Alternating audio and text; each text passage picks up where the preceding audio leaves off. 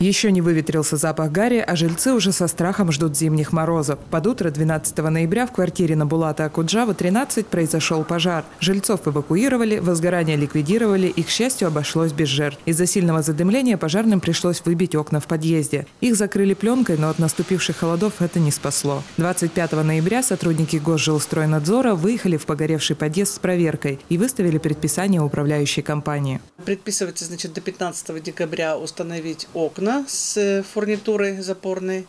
И дальше у них до 1 февраля выполнить э, в подъезде, устранить загрязнение и так далее. Ну, практически ремонт подъездов. 1 декабря управляющая компания установила пластиковые окна. Запорную фурнитуру установят, как только она поступит. Температура в подъезде нормализовалась. Убрали и мусор, который остался после пожара. Они, конечно, могут и позвонить и направить жалобу, что не выполнено предписание.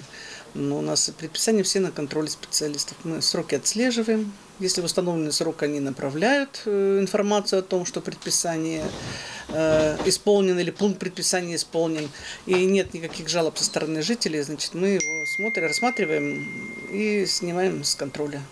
В случае бездействия управляющей компании ей бы грозил штраф от 250 тысяч рублей. Поэтому работы по наведению порядка в подъезде идут. Но жильцы относятся к их качеству скептически.